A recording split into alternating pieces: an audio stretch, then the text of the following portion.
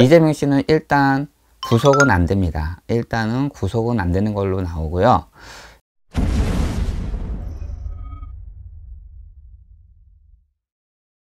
네, 안녕하세요 선생님. 네, 안녕하세요. 일산의 작두신장 강도령입니다.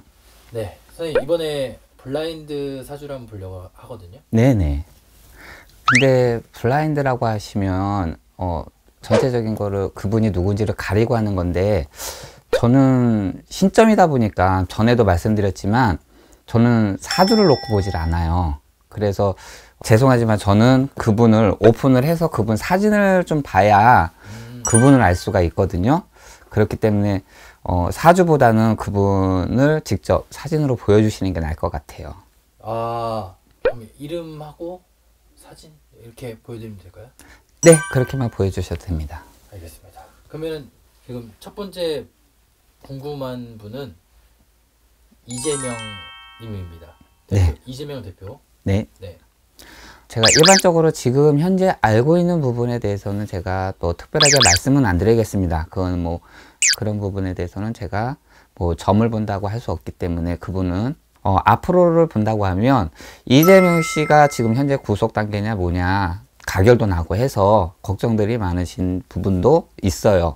뭐 민주당을 믿으시는 분들은 근데 이재명 씨는 일단 구속은 안 됩니다. 일단은 구속은 안 되는 걸로 나오고요. 일단 이재명 씨 같은 부분에 대해서는 옆에 보좌 하시는 분들이 열심히 뛰신다고는 하지만 아직까지 그렇게 크게 지금 이재명 씨의 운을 갖고 가고 있지는 않다라고 나오세요. 하기 때문에 지금 옆에 분들의 그 보좌만으로는 이재명 씨가 혼자 이게 뭔가 이렇게 이룬다라는 거는 없다고 하십니다. 앞으로 구속이 되냐 안 되냐 이런 관점에서는 현재 이분이 갇힐 수는 없어요.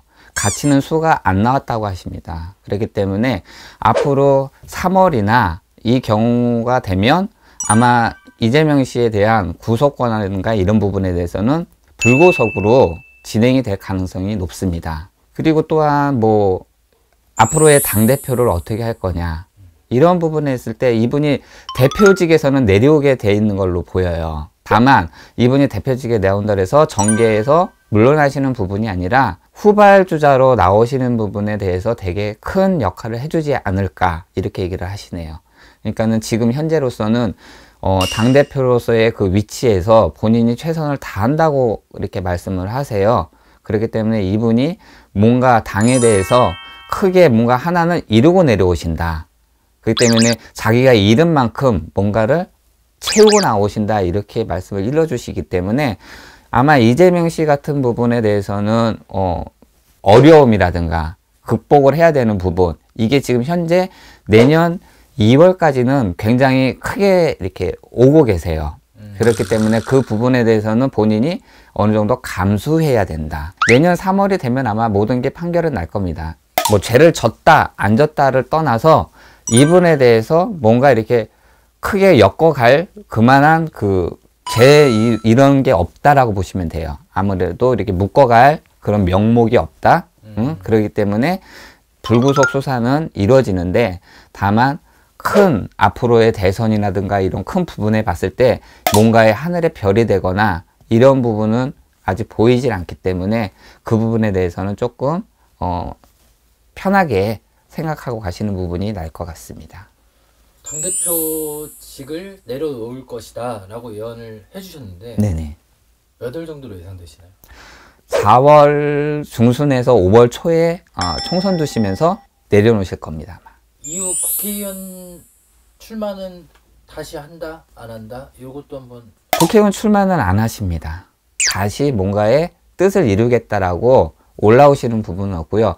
다시 국회의원으로서의 뭔가를 또 이루겠다라는 그런 부분은 이재명 씨 자체가 아마 내려놓을 겁니다. 일단은 구속은 안 되시고요. 당대표직은 내려놓으실 겁니다.